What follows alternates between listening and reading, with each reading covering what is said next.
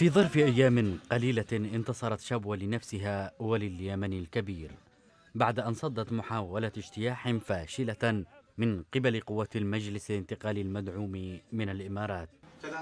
اليوم أعلن المحافظ محمد بن عديو أن شبوة أصبحت مدينة آمنة بعد استكمال السيطرة على الجيوب الأخيرة للمتمردين آخرها كان السيطرة على ميناء بلحاف الاستراتيجي بعد خروج القوات الإماراتية منه باتجاه المكلا.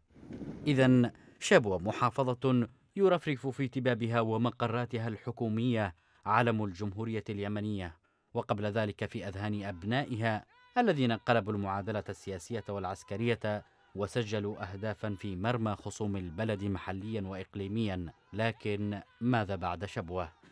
يتساءل المراقبون حول أولويات الحكومة في هذه المحافظة التي تعتبر الرئة الإرادية للبلد لا سيما مع وصول دولة رئيس الوزراء إليها وعقد اجتماعات وزارية طارئة. تتجه أنظار جميع اليمنيين اليوم نحو شبوة وكيف ستتعامل الحكومة والسلطة المحلية عقب هذا الانتصار خصوصا بعد خروج القوات الإماراتية التي كانت تسيطر على المنشآت الحيوية كميناء بالحاف وميناء علي وآبار النفط والغاز.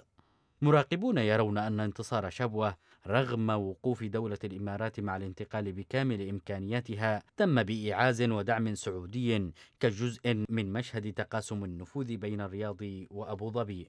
تريد الرياض تعزيز نفوذها في الشرق اليمني مقابل إخلاء الجنوب لأبو ظبي فيما ترك الحوثي لتعزيز سلطته في الشمال. تطبيع الأوضاع في شبوة وبقية المناطق المحررة مرهون بالعودة النهائية لقيادة الشرعية والعمل على تعزيز حضور الدولة ومغادرة فنادق الرياض التي أصبحت أقرب للشتيمة بعد أن أقامت فيها قيادة الدولة أكثر من أربع سنوات.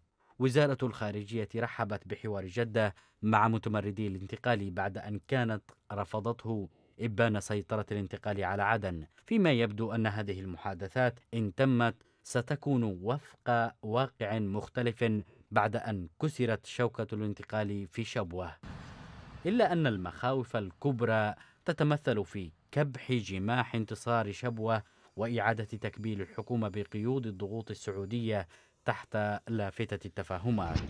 يرى اليمنيون أن شبوة ألقت حجرا في مياه التحرير الساكنة لتخليص البلد من سيطرة الميليشيا.